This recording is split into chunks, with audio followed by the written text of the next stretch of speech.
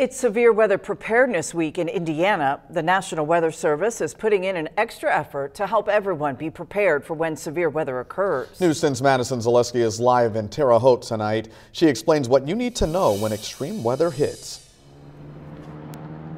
Patrice Rondrell, there are a few terms you might be familiar of, and that's a watch and a warning. But what do they mean? I spoke with a few people here in the Wabash Valley to see if they knew the difference. A watch is more of a less probability of a storm or a tornado actually happening, while a warning is more or less you're more likely to see it actually happening. I think a watch is like they think something's going to happen. Like if it's a tornado watch, they're watching for it to happen.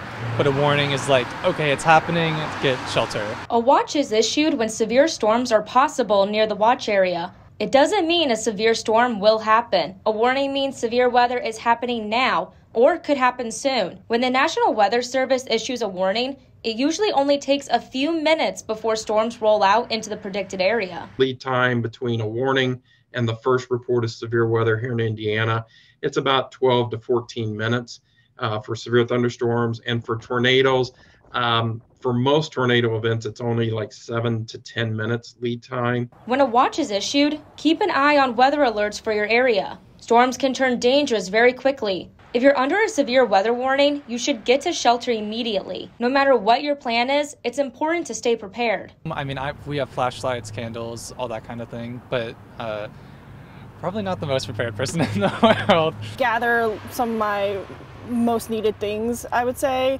at first, especially in the sense of a tornado. Um, and I try to find the lowest possible point, I guess, and the more sturdier part of the building. And be sure to download the Storm Team 10 weather app to stay up to date. Reporting live in Terre Haute, Madison Zaleski, News 10.